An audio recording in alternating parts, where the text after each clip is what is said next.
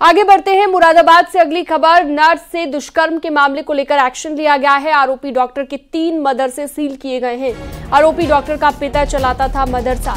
दो मदरसे सरकारी ज़मीन पर बने हुए हैं। एबीएम हॉस्पिटल के डॉक्टर पर नर्स से दुष्कर्म का आरोप लगा है। हॉस्पिटल में बंधक बनाकर रेप का आरोप लगा है। आरोपी समेत तीन लोगों को गिरफ़्तार कर चुकी है पुलिस।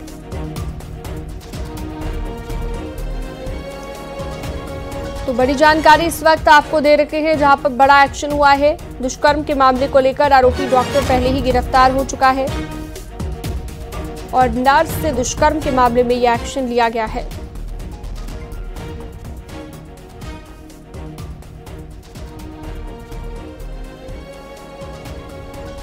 तो आरोपी डॉक्टर का पिता मदरसा चलाता था। तीन आरोपियों को गिरफ़्तार भी किया जा चुका है और आपको बता दें कि हॉस्पिटल में नर्स से दुष्कर्म का आरोप लगा है। विशाल सक्सेना हमारे साथ फ़ोन लाइन पर जुड़ गए ज़्यादा जानकारी के साथ अपडेट के साथ। विशाल, अभी क्या लेटेस्ट अपडेट इस मामले में?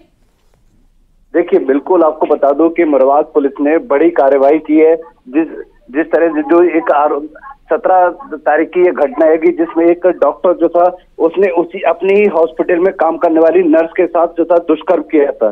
दुष्कर्म करने के बाद जब पीड़िता के परिजनों ने शिकायत की उसके बाद उस आरोपी डॉक्टर को और एक महिला और एक वार्ड बॉय को उसमें गिरफ़्तार किया गया था, जिसके बाद पुलिस ने अब बड़ी कार्रवाई की है। पुलिस ने आरोपी डॉक्टर के परिजनों जो उसके द्वारा जो मदरसे संचालित थे, जिसमें दो मदरसे सरकारी भूमि पर और एक प्राइवेट भूमि पर मदरसा संचालित था, उस पर बड़ा एक्शन करते उस पर सीलिंग की कार्रवाई की है। फ़िलहाल सीलिंग की कार्रवाई पूरी हो गई है और ये मुराद पुलिस का मुराद प्रशासन का एक बड़ा एक्शन है।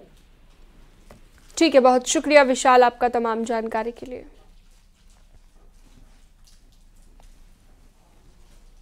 झांसी में प्रशासन अवैध कब्जे को बुलडोजर चलाकर जमींदोज कर दिया गया है। मौरानीपुर नगर पालिका की टीम ने पुलिस फोर्स की मदद से गरौठा चौराहे पर रोड के किनारे कब्जा कर बनाई गई दो दर्जन गुमटियों के साथ दो मिठाई की दुकानों को बुलडोजर चलाकर ध्वस्त किया। बताया जा रहा है कि नगर पालिका ने अवैध कब्जा हटाने के लिए कई बार नोटिस जारी किया था। इसके बाद भी ज़मीन से अवैध कब्जा नहीं हटा तो बुलडोजर एक्शन लिया गया।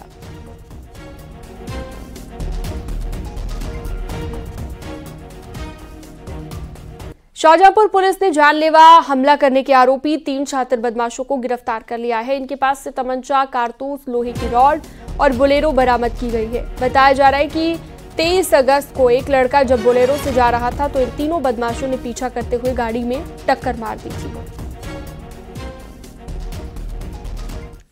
सोनभद्र के मारकुंडी घाटी में पहाड़ ढहने से आवागमन बाधित हो गया है। पहाड़ ढहने से वाराणसी शक्तिनगर मेन रोड पूरी तरह से बाधित हो गया है। गाड़ियों का गुजरना बंद हो गया है। बताया जा रहा है कि रुक रुक कर बारिश के चलते पहाड़ ढहा है। टोल प्लाजा कर्मी मलबे हटाने की कोशिश कर रहे हैं। चौपन थाना क्षेत्र के मारकुंडी घाटी की घटना बताई गई। नोएडा में एनकाउंटर में दो बदमाशों के पैर में गोली लगी है, जिसके बाद पुलिस ने मौके से दोनों को गिरफ़्तार कर लिया है। घायल बदमाशों को इलाज के लिए हॉस्पिटल में भर्ती कराया गया, एक बदमाश मौके से फरार हो गया। पुलिस उसकी तलाश में जुटी हुई है। पुलिस के मुताबिक इस गिरोह के सदस्य घरों में लूटपाट किया करते थे। पकड़े गए बदमाशों ने कुछ दिन पहले मोहियापुर गाँव में लूट की वारदात को अंजाम दिया था।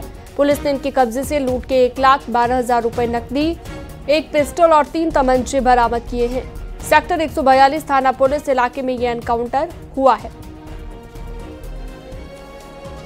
चेकिंग के दौरान एक संदिग्ध कार को रोकने का इशारा किया गया। परंतु वह लोग नहीं रुके और पुलिस टीम पर जान से मारने की नीयत से फायरिंग करने लगी। पुलिस टीम द्वारा आत्मरक्षा जवाबी फायरिंग की गई, जिसमें दो बदमाशों, दीपक और कनौज के पैर में गोली लगी। जिन्हें उपचार है, नजदीकी हॉस्पिटल भेजा गया। नोएडा में छेड़खानी और रेप की कोशिश के आरोपी को पुलिस ने एनकाउंटर में गिरफ़्तार किया है। ऑटो ड्राइवर पर महिला सिपाही को, महिला सवारी को सुनसान जगह पर ले जाकर उसके साथ जिसके पास से पुलिस ने तमंचा और कारतूस भी बरामद कर लिया है। आरोपी पर पहले भी सात मामले दर्ज हैं। थाना फेस टू इलाके का ये मामला है।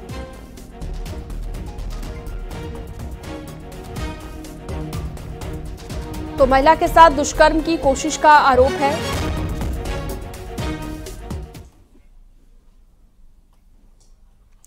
बिजनौर से अगली खबर, पड़ोसी ने महिला को मारी गोली। गोली लगने से महिला घायल हो गई है। घायल महिला को अस्पताल में भर्ती कराना पड़ा। मामूली सी बात को लेकर कहा सुनी हुई, आरोपी गोली मारकर फरार हो गया। थाना सियोहारा क्षेत्र के गाँव लंबा खेड़ा का यह मामला बताया गया। बिजनौर से ये खबर जहाँ पर पड़ोसी ने महिला को गोली मारी।